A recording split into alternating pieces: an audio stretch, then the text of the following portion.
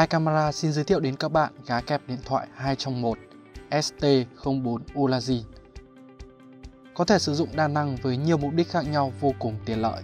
Gá kẹp được làm hoàn toàn bằng hợp kim nhôm, đã trải qua gia công CNC, vì vậy cực kỳ bền và chắc chắn, hỗ trợ quay phim, chụp ảnh, live stream theo cả chiều ngang và chiều dọc chỉ với một thao tác. Hơn cả một chiếc gá kẹp điện thoại thông thường, với gá kẹp ST04 này, bạn có thể sử dụng như một giá đỡ điện thoại để bàn hay gài lên các chân chụp selfie, chân tripod, slider hoặc bất kỳ các thiết bị quay phim nào có ốc nối 1 phần 4 inch như một chiếc adapter mount gắn điện thoại lên các thiết bị chụp ảnh. Theo dõi nhiều hơn các clip bằng cách nhấn nút subscribe bên dưới các bạn nhé.